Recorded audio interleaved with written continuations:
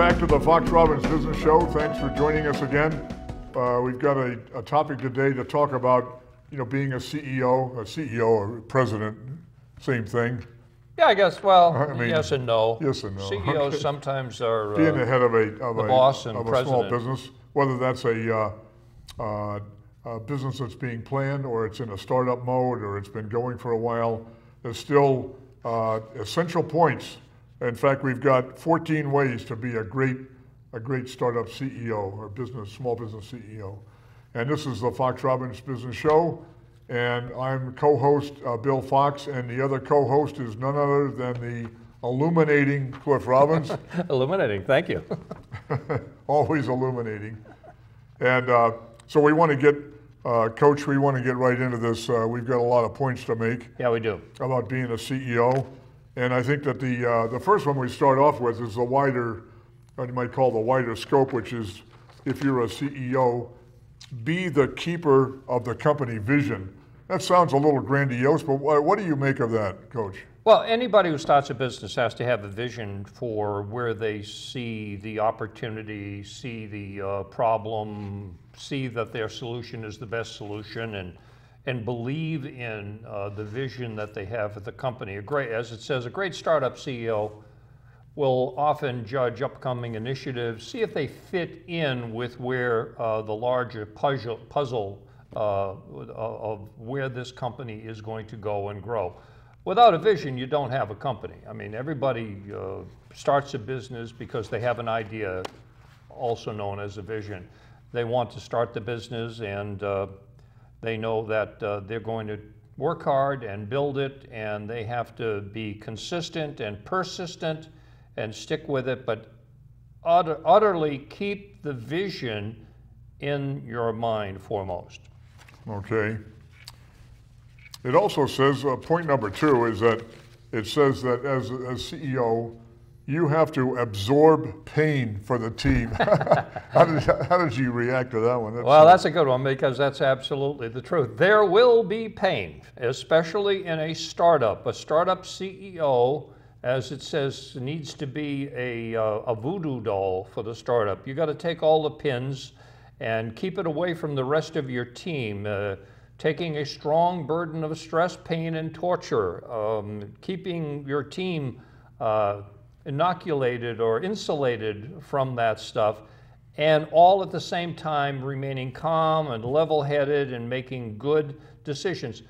This basically speaks to the fact that a good CEO, period, but especially in a startup, has good emotional intelligence, that they're able to see, keep the vision in mind, as we said before, and there's going to be knocks, there's going to be pain. Uh, take that pain, absorb it, try to insulate to some degree your team from it so that they can continue to do the job of executing uh, everything that needs to be done to keep going towards the vision that you had originally you want the company. you know, anyone who's working for you or with you, you want them to have a positive or good attitude. You want them always to have a positive attitude. You don't have to, you know, not be truthful with them, and that that's a horrible mistake. But like I say, when things are going badly, uh, take the fall for it. You know, that's that's the job. You Take know, the arrows in the chest. Yeah, the arrows in the back. Uh, you, you know, the two arrows in the back while you're crawling through the gutter of broken glass.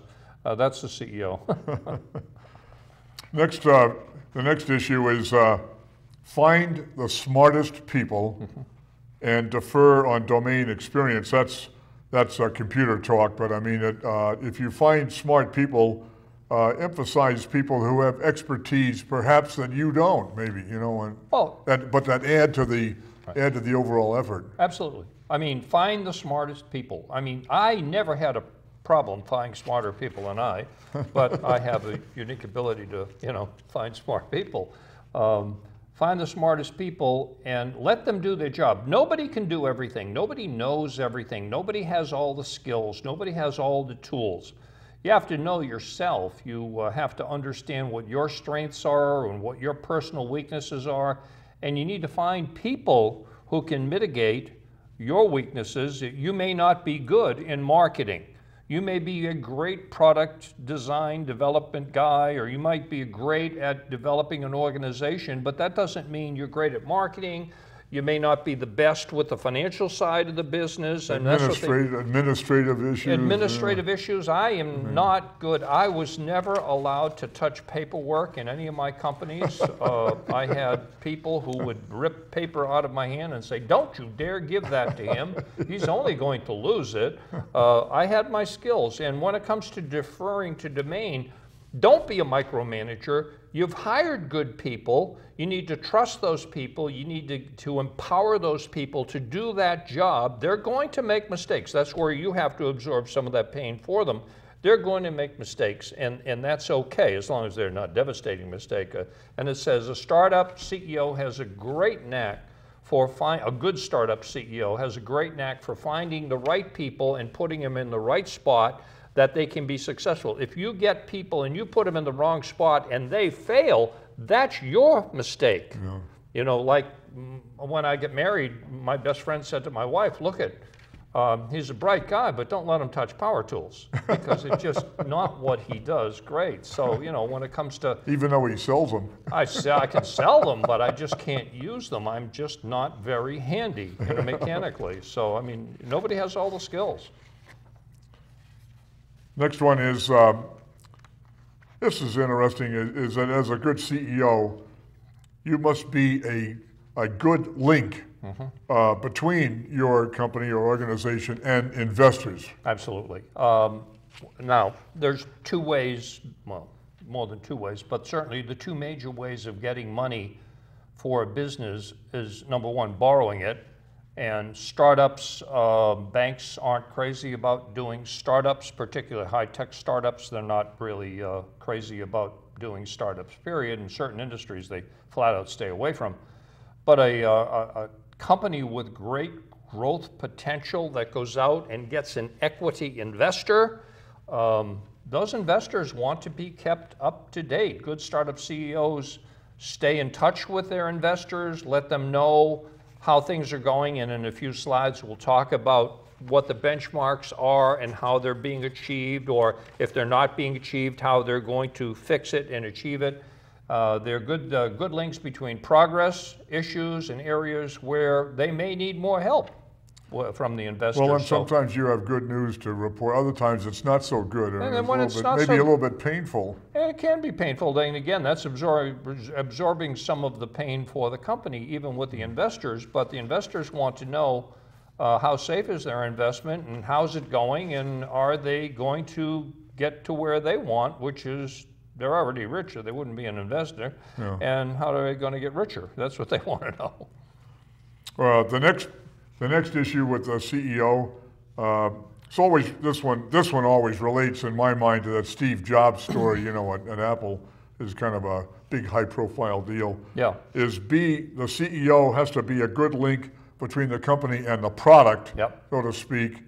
And that's what when Jobs left Apple, they didn't. They lost that that uh, connection. Yep. And he came back, and then bingo, you've got the smartphone and the tablet and the Yep. all the other you know good stuff because he uh, he had link with product. I Yep. guess is that He had link and he had he had vision. Um, you know, he he uh, he envisioned people using products that people didn't even know we wanted. I didn't know anything about a smartphone. To me, a phone was a phone. Uh, of course, today, you know, I always say to my students, particularly, I say, you know, this thing's still a phone. Don't forget, you can make calls on it. Besides doing email, besides texting. listening to your, You tell yeah, you to text. besides texting, besides Yahooing, besides, you know, uh, checking out restaurants that you want to go to or getting directions, it is a telephone. But Steve Jobs was a visionary, obviously, and uh, a great marketing guy. And yes, uh, he was a very difficult uh, person to work for. He drove people hard. That's why the board of directors got rid of him, quite frankly, because he was rather irascible but demanding and uh, had great vision, knew what the products that people would want would be. And, you know, when he came back, when he was brought back, Apple was within like weeks of bankruptcy. And he came back in. And, oh, was that close? Oh, yeah, they were close. They were really close. He came back and he wanted to protect his own investment, his own stocks in Apple. And of course, he got Bill Gates to loan him 150 million. A lot of people don't know that.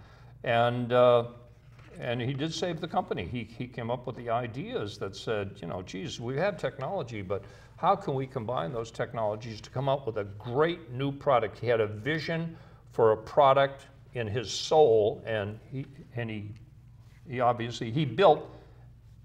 And don't forget, he did it all while he knew he had pancreatic cancer. He did all that in the latter stage of when he came back in the later part of his Yeah, career. right. But his link between Apple and the products he wanted to sell were all new products, which was made Apple at the time of his passing or shortly after the most valuable company on the planet. It surpassed all other companies as far, as far as uh, capital value goes. Close, but he was close to the product, man. He kept He, that. the product was him. I mean, he uh, he wanted a screen that wouldn't scratch. He was very demanding. He he wanted he wanted the right things in that product, and obviously he was right.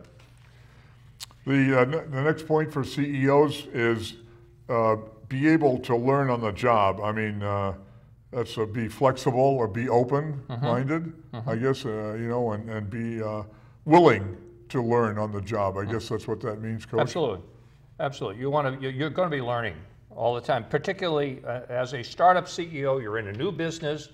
Uh, the best have the ability to learn as they go. They they have the blinders off. They're open-minded. They've hired the best people, as we say. They're listening to these people. Uh, they have certain persistence in certain areas, but they're also listening and open-minded. Things are going to happen that you didn't expect. All right. This is why an investor, and we've said this, I've said this in many shows before, an investor will bet on a Class A team mm-hmm. before they'll bet on a Class B team with a Class A idea. And the reason being, things, even though they're planned out, aren't going to go that way. And so the CEO and all of the C-level executives, the, the COO, the chief marketing officer, the chief operating officer, all those people have to be aware of what's happening with the company and make adjustments. Pivot is the word we use in business. As you're going along, make the changes that are necessary to stay on track and make this thing a success. All with the original vision in mind, but how you're going to get there will change as you go forward. Okay. Uh, this next point, uh, you know, I want to hear what you have to say. It, uh, uh, the you you almost maybe would say no no experience almost preferred. I mean, uh, it's that's almost like it's like uh, uh, you could come into the job of CEO knowing too much in a way, or, or having too much bias or too much uh, foreknowledge. I mean, you you uh, you want to be uh, know, sometimes it'd be better to start kind of with a blank slate, as the author says. Well, this, uh, I, I, this is the one slide that I had a problem with. Um, no experience. If he didn't put in the word almost, I'd have a real problem with it because it flies in the face of. I do want somebody who is an experienced CEO to lead my company, quite frankly. But I don't want somebody who can't do the previous slide, which is to be able to learn on the job, that has blinders on and say, we always did it this way. That can be a mistake. Yeah. This situation may change. You have to learn, and having too much experience, uh, if you're going to get stuck on that experience, I mean, GE was, uh, you know, would have people that became CEOs of so many other companies. They didn't have experience maybe in the product of the other company hmm. necessarily, but they did have experience as leaders, as managers, as hmm. the as, people who could motivate, people that were trustworthy, people that were, could communicate. Those are very important skills. And yeah, I mean, you don't necessarily have to have the deep technical skills to go back to Steve Jobs. He wasn't a software engineer. That was Wozniak and so many other people. He, Bill Gates was a software engineer, but Steve Jobs couldn't program anything. So, you know, he had no experience doing that, but he knew what he wanted from the market standpoint. So, um, this one is kind of a touchy one. No experience, almost preferred. Sometimes it's better to have a blank slate.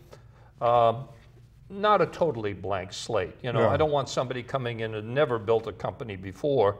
I want somebody coming in with the right tools that can come in, keep an open mind, and know where they want to take this particular company based on the vision and the products that they're developing. Okay. Uh, and that CEO, that the next point that the CEO has to have like an uncanny ability to say no. How did you take? How did you? What was your take on that one? Absolutely. You- This you one, like this, that one? this one I'm 100% for. The last one I wasn't totally, totally for. You have to have the ability to say no. You're going to have a lot of people coming at you with ideas, with requests, and you just can't take them all and say yes, yes, yes. You can't be a yes man, not even to the investors. You have to be, you're going to be inundated with ideas, right? You're going to be inundated with, with ideas from your investors but especially your employees, who, like I say, are smarter than you in some areas, but they may not see the whole picture. You, as the CEO, have to see the whole picture. You know, not just the marketing piece, not just the financial piece, not just the R&D piece, not just the human resource piece. You have to understand how all those pieces get together. And sometimes the marketing people, well, a lot of times the marketing people are fighting with the financial people. You know, and you've got to be, as the CEO, be able to say to somebody, I, yeah, I, I hear you, but my answer is no, okay? Now we're going to continue on this particular track. And sometimes it's hard to say no to somebody you respect that, you know, but it just doesn't fit with the big picture. That person also deserves to have an explanation, in my opinion, which goes beyond this particular slide, Yeah. of why you're saying no to them, okay? How it does not fit with where you see the company. Hey, the buck stops at, at your desk. You're the CEO of the company. And you've got to be able to say no as well as yes, or the company's going to be in trouble. Well, and sometimes that no is maybe not not exactly no, but no, not now too. I mean, a time like it could be suggestions or ideas coming could be a timing issue, not like it's no good, we're not going to do it, but Yep. maybe we, we need we need to take that up, but at a at a better time. You know, Timing is a huge, huge issue. It's an issue, quite frankly, that I've done some research into, and a lot, a lot of people have said. I, I saw a wonderful TED talk where uh, the gentleman who was a, an angel uh, VC, angel investor, if you will, and he looked at a couple of constructs to successful startups, and particularly technology startups, and they looked at. Uh, the timing of the introduction of a product, they looked at the team, they looked at the financing behind it, and surprisingly, we've always said the team is number one, team is number one. Well, their investments, he said, timing is really number one. Timing was ahead of even of the team. And sometimes, like you say, somebody comes to you with an idea, it's not the right time. It's, it's just not. Yeah. So you've got to say no. Right. But we'll keep it on the back burner because you know what? That might be something for us to look at next year or the year after. But for right now, the answer is no.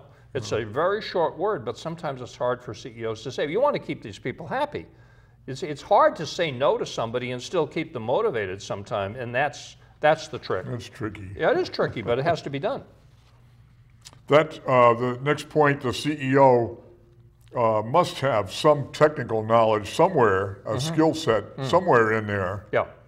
Well, when you say technical knowledge, I mean, uh, that doesn't mean they have to be a, uh, a, a programmer. If it's uh, like, Steve, like I said Well, about again, Steve Steve Jobs. Jobs didn't he didn't know how to wire a you know a a, bo- a, uh, a No, I did. hardboard A or, or, pro- or program the absolutely. thing. Uh, no, printed circuit, not Printed circuit. personal computer. But no, he didn't have a clue how to wire a printed circuit board, and I don't remember how to do it anymore either. I used to sit there and do that stuff, but that was a long time ago. Uh, no, he, he, the technical skills required of somebody at a supervisory management level are very high. But as that person moves up the ladder to become a C level executive, the technical skills become less and less important. And the personal and personnel and emotional skills and management and leadership skills become huge. And I don't care if it's a technology company, I don't care if it's a retail store, I don't care if it's a restaurant. Those leadership skills, those management skills become huge. Uh, you know, there are a lot of great cooks that can't run a restaurant because they just can't lead people. They just, but you leave them in the kitchen and they're okay. So technical skills get smaller as far as a requirement goes as a person moves up the ladder in a corporation. And so CEOs need to understand the basic technical requirements, even when you take a, a potential CEO from GE and you take them into your company, they may not be uh, familiar with your particular products. They can learn the products pretty quickly, okay? But it takes a long time to develop all the other C-level skills that are required to lead a company uh, to the promised land. Okay. The, uh, the next point about uh, the CEO is that he, he or she must be able to break things down into sizable chunks and, uh, and milestones. Is, does that ring a bell with you? Oh, absolutely. That one I agree with. What can you do first with what you've got? You know, here's where we are. Here's the plan. Here's the one-year plan. Here's the five-year plan, three-year plan, and here's how we see this company is going to go. When you go to an investor and you say to the investor, "I need, uh, you know, five hundred thousand dollars," and uh, at the end of six months we'll be here, and at the end of the year we'll be there. And if we are there, we're going to need another million and a half to take us over the next hurdles as the company continues to grow. So you're breaking down your progress into bite-sized chunks to be able to say, A, here are the benchmarks that we're going to achieve. Mm-hmm. And that's all part of smart management, specific, we've gone through that before, specific, uh-huh. measurable, Measurable, attainable, attainable. responsible, oh, and timely. By when? And that's what this is talking about, breaking things down into chunks and milestones. It's one thing to have the BHAG, if uh, you remember BHAG, big, hairy, audacious goal. That's the vision. That's where I see this company. That's the gentleman, I don't remember the Japanese name, but standing in his bombed out factory saying, you know, start, his company was, his name Honda, you've heard of them, saying, our goal will be to be the best engine makers in the world. And quite frankly, Honda makes good engines. One of the best ads I ever saw was the guy gets in his Honda, drives to the boatyard, jumps on his boat, starts Yeah. up his Oh, yeah. Honda engines, goes to his island, starts up his Honda generator, goes out to his Honda mower and starts mowing his grass. Honda makes great engines. So that, that was their big, hairy, audacious goal, but it's broken down into bite-sized chunks so that you can feel good about achieving, you know, the, the goals along the way. You got to go to first base before you run home. And that's the bottom line. First, second, third, then home. Okay. But along the way, as you're going along the way, the next point is you must have the ability to call an audible. I like that. That's a uh, football, that's like a football analogy. Well, that's a perfect analogy because you know what? Uh, here you are, you've got the play.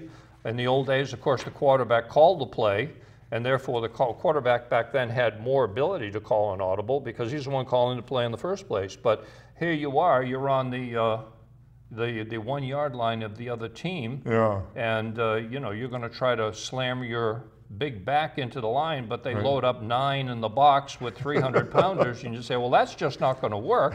You step up to the line and you see, hey, this isn't going to work. Maybe we better change it right here. yeah, And you know somebody starts hollering the the magic phrase, whether it's a color or a word that says, "Hey, I'm changing the play, Right. and here's the new play." And uh, because we got a better chance of being successful with the new play. So yeah, CEOs come up against all kinds of things that just aren't expected, and you have to be able to pivot again, make a change, call an audible, and try to score the touchdown. The, uh, the next point, the CEO must motivate uh, the team through despair, through, that's issues of despair, or, you know, uh, Yeah. uh, despairing moments and so forth. That's probably true, isn't it? Yeah, well, this is, goes back to number one. To me, number one in uh, the voodoo doll one, where he's taking the hit, taking the Yeah, pain. yeah. This is the same thing, quite frankly. It's almost a duplicate. I keep trying to reduce it to 12 or 13, but yeah, this is to me a duplicate. CEOs motivate the team to keep their chin up. That you know things are look a little difficult right now. And this is all part of management, the ability to recognize that things, uh, you know, aren't going real well right now. Well, what are we going to do about it? This is management, planning, organizing, staffing, leading, and controlling. Controlling meaning, here's what we thought was going to happen. It's not happening. Well, what are you going to do about it? If you don't do anything different, then you're going to get the same darn results. So you have to sit there with your emotional intelligence, working with your team, and saying, here's what's happening. It's not good. What are we going to do about it? Well, they did it at Apple. To go back to Apple, they called Steve Jobs back. Otherwise, they would have been bankrupt. Apple would have been bankrupt within months. Uh, all of what you just said that feeds into the next point, which is be a, be a great communicator if you can, or you mu, you must. This is the single most important one. This is what leaders do. They are great communicators, whether it's FDR, or uh, who was the guy in England there? Winston something. uh, Winston Churchill. Yeah, he was a great communicator too. But I mean, any great leader is a great communicator. They have to be. It starts with slide number one, which was creating a vision and, and letting people buy into your vision and being able to uh, portray the necessary energy and the passion that you feel and have other people take on that passion and say, I love what this guy's saying. I love the potential that this company has. And it doesn't matter, it doesn't have to be the next Facebook or Apple. It can be just a, a simple plumbing business, a retailer, or any small business. They, they, they just really believe in what they're doing and they're going to pass that energy on to uh, everybody else through communication. That's great. And the, the final point uh, on this set, coach, is that don't be a fake. Don't be a fake CEO. But this is very similar to what Bill Parcells, to get back to a, uh, a football analogy, Yeah.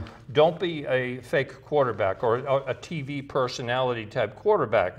You're here to play football, you're here to learn. Uh, don't get all caught up in uh, all the glorious and the glory and the TV and the hype and everything. And uh, this is the same type of thing. In short, worry about things that are going to produce results with your company, and the fame will come. Don't worry just, I want to be famous, I want to be a hero, I want to look good all the time. You're not going to, okay? But it's, it's when things are difficult that you step up to the plate that you really do start to look good. You've come a long way. And so you don't want to be a fake, you want to be sincere about it. And again, it goes back to the, the quarterback situation. Quarterbacks come into the league and all of a sudden they become fake quarterbacks. They'd rather be a star than work their butt off and be a real solid quarterback and take the team to Oh, the they have that in Cleveland, I believe. They have it in uh, Cleveland. They had it in Tony Romo until he got his act together, quite frankly. And that's one of the things Parcells told him. Don't be a fake quarterback. Thank you for watching the Fox Robbins Business Show again. Uh, we're talking about uh, 14 ways to be a great startup CEO, and we'll cover uh, other issues in, in future episodes. And uh, feel free to send us comments uh, at foxrobbins at gmail.com. That's foxrobbins at gmail.com. Right, I got it. Whatever ideas you've It's on my card. Whatever ideas or thoughts or comments that you have, please send them to us. And thank you again. We'll see you next time.